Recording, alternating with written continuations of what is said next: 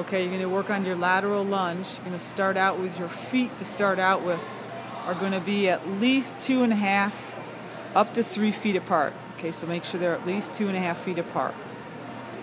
And then you're going to keep your opposite knee, so in this case, the left knee stays completely straight.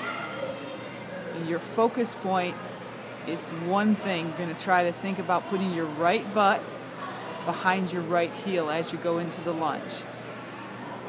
Now, the other focus point is to make sure as you're doing this that your knee, the motion's coming out of your hip so that when you go back, that's the first motion we see is butt back behind your heel.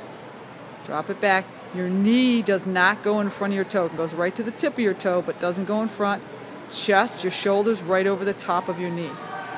When you come back up, make sure you're initiating the movement with your hip coming forward and you're not snapping your knee straight. You're moving through the hip. Good. Now push that hip forward. Come forward through your hip, come straight at the same time your knee comes straight. That was perfect. Each time you go down, you're going to try to drive that hip back further and further so that you're trying to get that thigh, in this case the right thigh, parallel to the ground to a 90 degree squat position at the knee. Push that butt back, push that butt back. Go through your butt, not through your back. Perfect. Okay? You're going to work on these at home. You're going to do 20 on the right, 20 on the left, and then you're going to do a set alternating. We'll show that next.